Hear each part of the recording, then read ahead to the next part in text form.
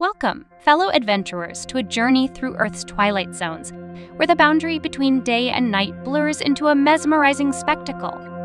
Ever wondered where you can experience both a sunny day and incoming night, or night and incoming day simultaneously? It's all thanks to a fascinating phenomenon known as the Terminator, or the Twilight Zone.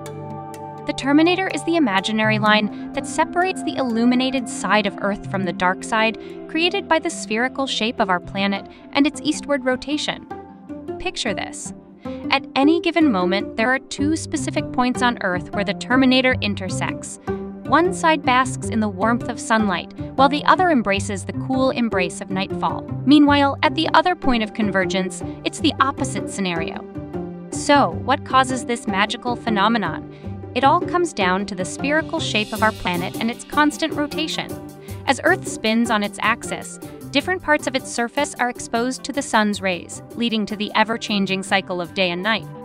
For astronomers and photographers alike, observing the Terminator offers a glimpse into Earth's celestial dance, from capturing the beauty of twilight in stunning photographs to studying the patterns of sunlight and darkness. There's endless wonder to be found in these twilight zones as we continue to explore the mysteries of our planet and the cosmos beyond. Let the Terminator serve as a reminder of the boundless beauty and complexity of our universe. Thanks for joining us on this adventure.